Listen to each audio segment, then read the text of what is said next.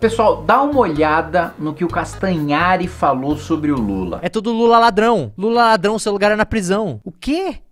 Como assim Lula ladrão? Descondenado, sei lá o quê. Sempre cai nessas, nessas bobagens, sendo que a gente sabe que o Lula foi, foi preso injustamente. É, é, é a mesma coisa que eu já disse pra Anitta. Se, você não entende sobre um assunto, se você não tem a menor ideia do que você tá falando, se você nunca leu sobre o que você está falando, não fale merda! Olha só o que, que Felipe Castanhari falou. Não tem- me mostra aí a prova. Me mostra aí o, o que comprova que o Lula foi que o Lula foi preso. Cadê as provas?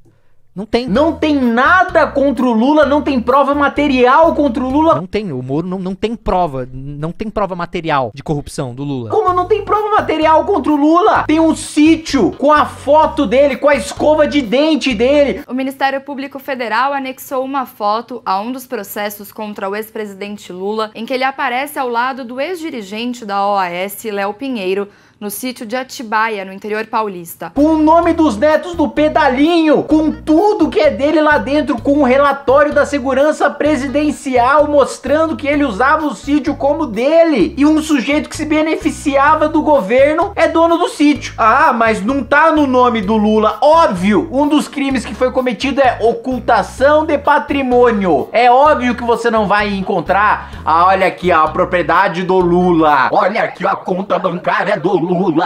É óbvio que você não vai achar. E sabe por que que você não sabe disso, Castanhari? Porque você não leu os autos do processo. Você não conhece o processo. Olha só o que você fala. O Moro não tem prova contra o Lula. Não tem. O Moro não, não tem prova. Primeiro, que o Moro não, não tem que ter prova contra ninguém. Quem tem que ter prova é o Ministério Público. E o Ministério Público apresentou as provas pro Moro, que julgou, que analisou o mérito, coisa que o Supremo Tribunal Federal não fez. E você não sabe a diferença entre julgar o mérito e anular um processo, né? Por questões processuais, claramente. Mas eu vou te ensinar, pode ficar tranquilo, Castanheira.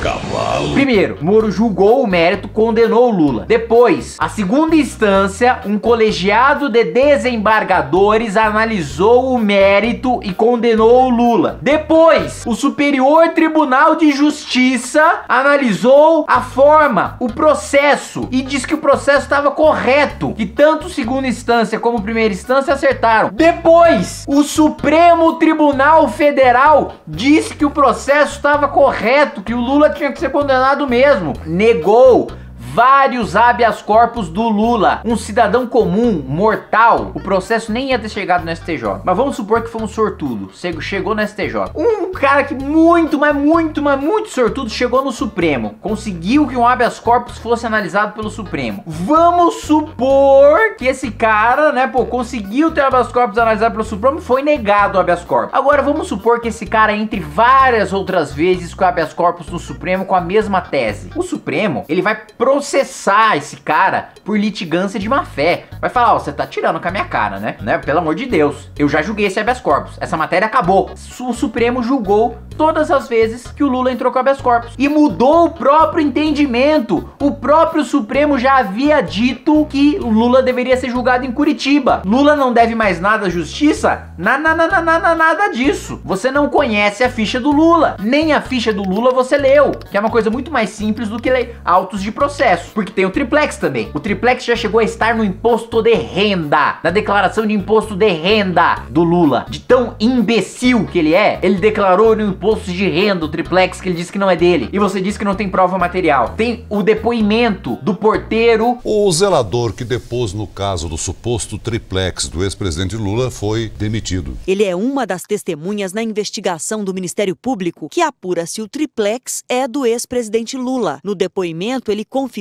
que já tinha visto tanto o ex-presidente quanto a esposa dele, Dona Marisa Letícia, no condomínio. Meu Deus, olha só. O dono da empreiteira, dono de uma empreiteira, uma empreiteira, não de uma incorporadora, não é de uma empresa que constrói prédios, não, de uma empreiteira, do que faz viaduto, que faz rodovia, sabe que assim participa de licitação de navio sonda. Você sabe o que que é um navio sonda? Quanto custa um navio sonda? É, a gente tá falando disso. Foi lá como se fosse um corretor de imóveis visitar visitar o apartamento junto com o Lula e junto com a Marisa. Mais do que isso, depoimento de gente da loja de móveis e nota fiscal da loja de móveis que a Marisa ia para comprar móveis pro apartamento. Você vai me dizer que não tem prova material? O Ministério Público de São Paulo investiga a suspeita de que o ex-presidente Lula seja o verdadeiro dono do apartamento, que está em nome da OAS. Tinha contrato já ali, um contrato pro triplex pronto, já pro Lula assinar. O Instituto Lula admitiu que o ex-presidente visitou o triplex com o presidente da OAS, Léo Pinheiro, mas que Lula desistiu da compra. Ah, mas não tava assinado, é, a minuta de decreto do golpe do Bolsonaro também não tava, e o secretário tá Os preso. promotores paulistas questionam o fato de a OAS ter gastado tanto dinheiro numa reforma sem um comprador pré-reservado. O MP investiga ainda uma outra compra feita na mesma loja de móveis. Fomos ao endereço indicado na nota fiscal para a instalação da cozinha planejada e encontramos esta placa com o número e o nome: Sítio Santa Bárbara. É o sítio que Lula e a família frequentam. Pelo amor de Deus, Eduardo Paes, que é o atual prefeito do Rio de Janeiro, ligou pro Lula zoando o Lula que a corrupção foi pequena, que a corrupção foi tosca, que falou: "Olha, meu Deus, não acredito que você vai ser pego por causa de um sítio de merda em Atibaia". O senhor me para com essa vida de pobre, com essa tua alma de pobre, comprando esses sítiozinho vagabundo, porque eu sou uma alma de pobre, esse barquinho dele é em São Pedro da Aldeia Araruama, não é em Búzios nem Angra. Pariu. É um cafona, que o senhor não perdeu essa sua alma de pobre, isso que é a maior desgraça que eu tô vendo nesse processo todo. E o Lula nunca negou nem numa ligação privada que o sítio era dele. Nem quando ele tava sendo zoado por ter sido pego numa corrupção, que nas palavras do Eduardo Paes era uma corrupção de espírito de pobre.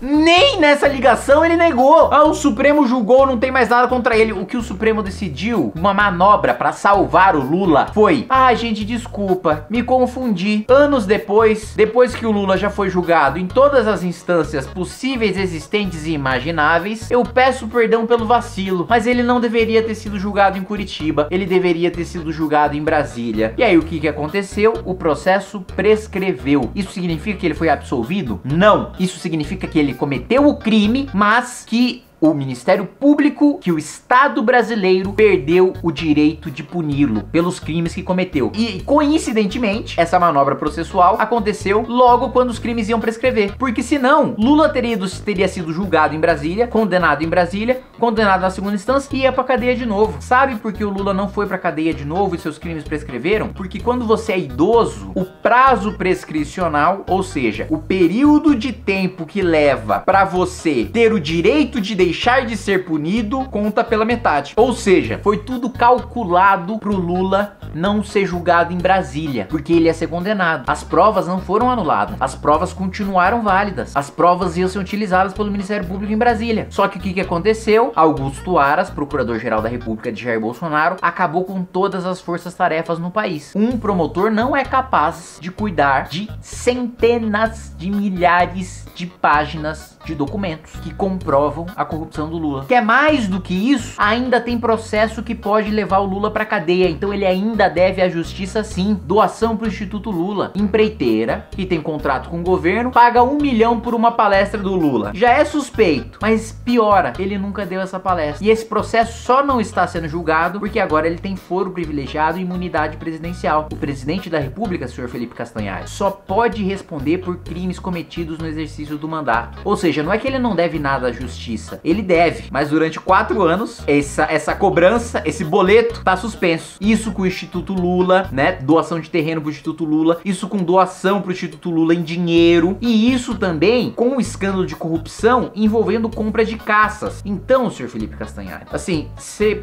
pode ser um bom produtor de conteúdo, né? Pô, você pode ser, enfim, fazer vídeos legais, você pode ser um, um cara bom de entretenimento, mas assim, não fale sobre o que você não entende. Eu, um político e eu, um sujeito estudioso do direito, não entro na sua seara de entretenimento e até poderia, porque assim, entretenimento qualquer um pode falar, mas não entro na sua seara de entretenimento pra falar sobre o que eu não sei, pra falar sobre séries que eu não assisti, sobre jogos que eu não joguei, e por aí vai. Então você não fale sobre processos que você não leu, não fale sobre leis que você não conhece, não fale sobre estruturas do poder judiciário que você não conhece, não fale sobre fichas criminais que você não conhece. Você fez o L porque você é ignorante, porque você não sabe o que você está fazendo. E eu te perdoo por isso. Isso. Acontece das pessoas serem ignorantes. Eu não vejo dolo, não vejo maldade em você, mas uma ingenuidade que chega a dar pena. O atentado dos bolsonaristas golpistas se deu com a invasão e vandalismo no Congresso Nacional. Com pedaços de madeira, os manifestantes quebraram o teto do local. Olha a cadeira do Xandão!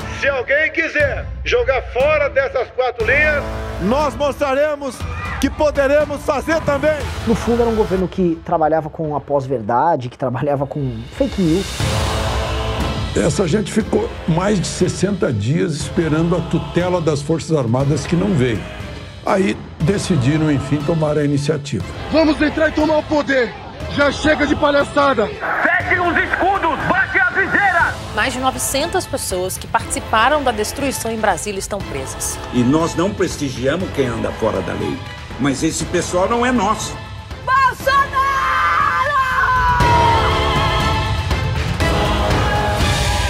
Pessoas só foram enganadas porque quiseram acreditar demais num sonho que no fundo era tudo uma mentira.